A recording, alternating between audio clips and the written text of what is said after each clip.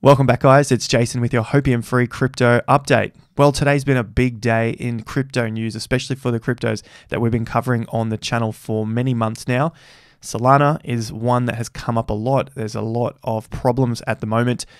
FTT, huge FUD attacks going on on Twitter. We'll cover those as well. And of course, the big Bitcoin Golden Cross. What does that mean? And did you get in to buy my NFT of the Golden Cross on Twitter? If not, don't worry, I'm sure you could copy and paste it at a later point.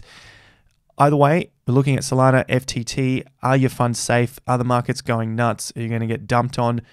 Don't worry, we have funds are SAFU right here from the big man himself, CZ. Okay, so enough of my corny t shirts. Make sure you've hit the like button, subscribe to the channel, bell notification icon, do all that stuff to help out the YouTube algorithm.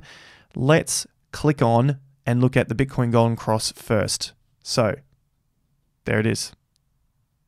There's a golden cross, the yellow line crossed over the blue line. Great. Okay, so what does that mean? It is a moving average. So it basically just tells us is the market in a confirmed uptrend or downtrend? And is it even reliable? So, how do you identify a golden cross on the chart? Crossover of the 100 day moving average by the 50 day moving average or the crossover of a 200 day average by the 50 day average. So traders have their own definitions of how they are going to use these signals, but that's essentially what you're seeing. It comes up a lot, especially when that timing is getting very close to have this indicator show up and flash all of the bullishness across the entire market space, or at least that's what we are led to believe. The short term average trends up faster than the long term average until they cross. So the short term, there it is, there's the yellow. The long term is the blue. The yellow is trending up.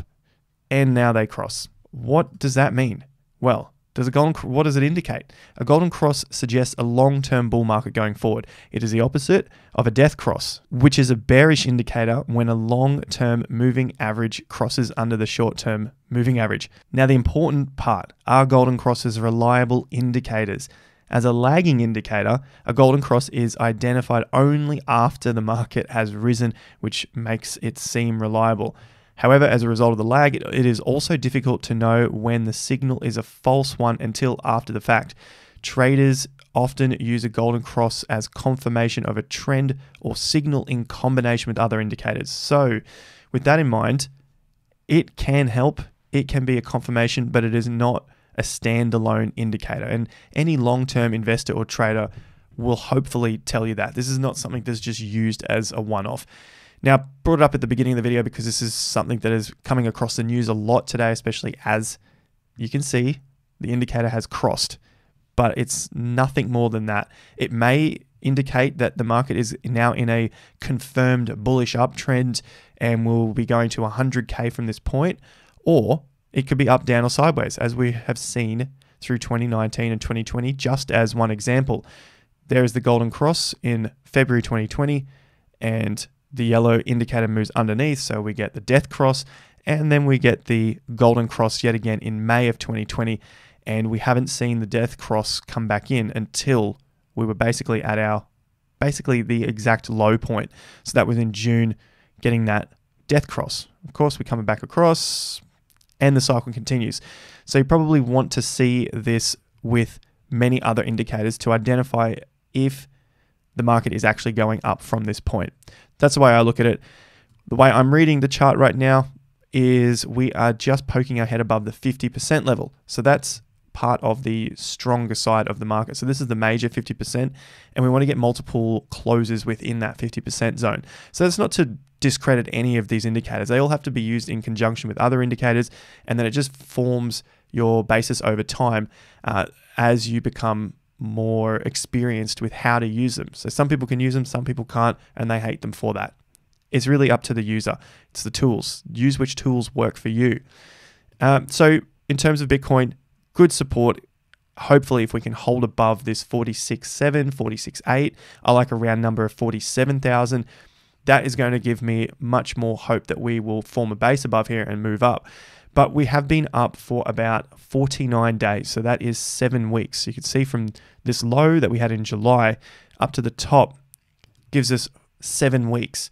And so to have a recovery of only a week or so, so this is the first day here, we're currently into our eighth day. I feel, I know it's not an exact science, but it definitely does not feel like it's time yet. After seven weeks up, maybe a little more time is required. Doesn't mean we have to crash to new lows of 28,000. It might just mean some more time in this area. And of course, my zones are uh, above that 37k at the worst case scenario, but somewhere around that 40 to 45 ish k to cool off, chill out, buy the dip, and then wait for that next stage. I think it's going to be drawn out a little longer than people can wait. And they'll lose patience. And at that time, that's the best time to be in these markets. So let's look at the FUD and all of the fear and the stuff that's been going wrong with Solana and FTT. But first up, if you guys aren't already, check out the Patreon membership down below. 42 out of the 100 left. So if you are interested, check it out. Link down below. This is our uh, exclusive community. We've got a Q&A coming up at the end of the month, so if you want to join on board for that, check it out down below. 42 left. It's going at about 5 to 10 places per day, so probably in a week's time there won't be any left in this zone right here. All right, on to the FTT and Solana news. Warning, I put this out this morning quite early. It was at 4:30 on my way to the gym. FTT holders, nothing has been confirmed. So there is there was a bit of a an attack on FTT just from a FUD sense, not from their technical sense, not attack in the technology. But you've got a few posts here. Enormous amounts of Bitcoin is on the run, whipping around trying to shake off dirty addresses. Puts a bit of a scare in there. We're tracking it guarantee you this is an enormous hack. We'll post an update in the morning. Now, was it an enormous hack? We haven't seen anything yet. This is the posts here from the original tweet. 2 billion moving block to block. Majority of blocks had no withdrawals or or one. 360 million on FTX hot wallets. Instead, the 2 billion being whipped around red flags for peeling, which is normal when funds are stolen, not user withdrawals. Now, SBF has also responded, but we've also got this comment here from Larry. Rumors of FTX being hacked, which is spreading like wildfire, are fake. Don't pay attention to it. Now, who is this person? Where do they come from? The block. Okay, so that's a reputable cryptocurrency uh, news source. And you can see here that they are also followed by none other than Vitalik Buterin himself. That guy there was the founder or the director, sorry, of research. And SBF's reply for those who don't know, Bitcoin withdrawal processing involves combining together UTXOs from deposit addresses, etc. A few days ago, we were consolidating some UTXOs into an address to make processing quicker. Note this also rotates when we send out BTC withdrawals expect it to keep moving around. Sam is saying that this is probably going to keep happening until they fix up the addresses, if they in fact do. We generate a new change address with each withdrawal, so it doesn't seem like it's a problem. That's what they knew already, but there is a bit of FUD going on. So just keep that in mind. So, what does that mean for the price of FTT? Well, first, I'm going to look at FTX against Bitcoin, so FTT BTC. The price is coming back into the previous zone. So, this was the zone before it took off to that recent high. Now, I've had multiple days down, so multiple red days. I don't think this is going to turn around anytime soon, but I like it as another opportunity to start implementing a DCA plan at this point. But that, doesn't mean that the price is going to exactly hold here and then boost back up to new all time highs. Uh, I'll just look at this zone as previous resistance. So we can see from May, that was a previous major, major all time high top. And then we broke through on strong volume, retested it, and took off again. But now we're coming back into this zone by the looks of it to maybe retest it to see if we can regain some strength and hold it as support. I would be concerned if this level began to break down. That is the lows and the highs. So that's around 0.0012 of a Bitcoin and then started to, you know, churn its way around in this zone. So I'd be concerned about that, not overly too worried long term. But again, if we started to break major lows on the way down, then sure, that could be that could spell the end to the major trend up. Looking at FTT on the USD pair, similar sort of deal when it comes to the analysis here. The tops are in play, so that's around 59 to about 67 ish dollars. So that's looking at this previous top, the all time high, the support zone. So that's where I'm getting all of these areas from. And so if that churned around in these high levels between that 58, 67 ish, no problems. If it's found a base here at 67 and began to form another base, that's also a good sign. But if we broke down and then started to make our way back into the uh, the 40s and the low 50s, that might be a bit concerning for the longevity of this bull move on FTT, only because you start to break down these support zones. That's the main reason here. So FTT for me is looking okay unless support zones are broken down. So far, it's looking okay, especially after a FUD attack. Now, on to Solana. And the problem with Solana is that the network became overloaded. So, tweet here from Solana status Solana mainnet beta encountered a large increase in transaction load, which peaked at 400,000 transactions per second. Huge. These transactions flooded the transaction processing queue and lack of prior- prioritization of network critical messaging caused the network to start forking. So it started to go crazy and they have had to reset it looking at some of these other posts. Now, we haven't had any updates since that point in time. The validator community elected to coordinate a restart of the network.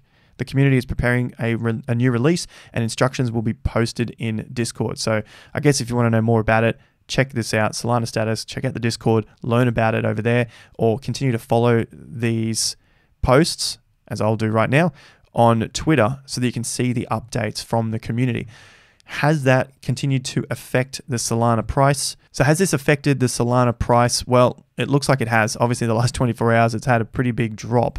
Now, from the top 216 to the low of 142, had about a 34% drop. Now, that's multiple red days in a row. And I remember the last time I saw that, it happens quite often actually when you do see multiple days like this, it's not going to turn around that quick. So I'm not in any rush to be buying a ton of these dips. I am looking for dips in Solana, don't get me wrong.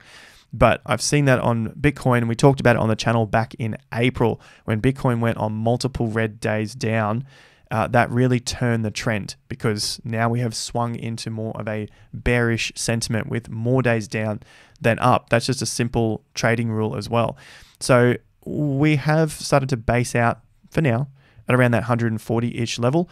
I would be concerned if we broke any further than around that 90 ish, $95 level because I've seen that before on Solana. It held up during that last bull run and especially the major correction came back and sat on the 38%, so a good solid 61%, 61% correction, and we had multiple bounces on that. So the 50% was good, the 61% was a strong level, and I'm looking for that to repeat in order to maintain the integrity of this up move. So that brings us out at around 93, 96 dollars and then the 50% level is at about 119 and the double there is about 115 so that's why i like these levels there's a bit of price cluster movement going on there so even if this falls a little further i like the dcas around the 140 the 120 and around that 100 that looks like good areas for this point in time I don't think it's going to recover extremely fast. If it does, fantastic. We take off with the gains.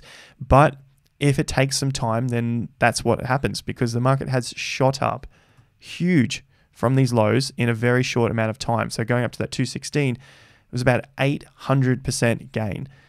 I'm happy, I'm patient to buy the buy the major dips looking at my price points and then going with the market and just see where it will take me into this next stage of the bull market.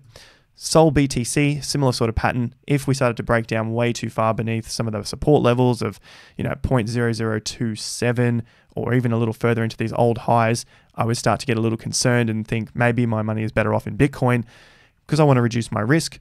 But of course, we'll continue to follow that as well on the charts and on the channel. So if you want to know more about trading and investing, make sure you check out the link down below. The Patreon groups are down there, TIA Lite join. You've got some early adopters here. Q&A is coming up this month, so if you want to ask some questions, jump over to that. Links are all down below. Now, last thing is our Swyftx portfolio. Currently at 18,200. I bring this up because Solana, ADA, and FTT were our biggest holds in the portfolio. And of course, we've had a FUD attack on FTT. Solana has broken and they've reset it. And then ADA has peaked out and not much is happening at the moment. So we're still sitting pretty comfortably, 18,200 ish. This is in USD. But if you guys are in Australia and you want a second exchange or you haven't signed up to an exchange yet, get yourself an account with Swyftx. Links are down below. $10 free Bitcoin. Uh, you can use this only in Australia at this point and New Zealand. And you can set up your own demo portfolio in case you are not too confident with buying your own cryptos. I'll wrap that video up there today. Thanks, guys, for your time and attention. Make sure you like the video, subscribe, bell notification icon. Always remember, your funds are safe. I will catch you at the next video. See you on Instagram and on Twitter or on Patreon. Until then, have more fun to get more done.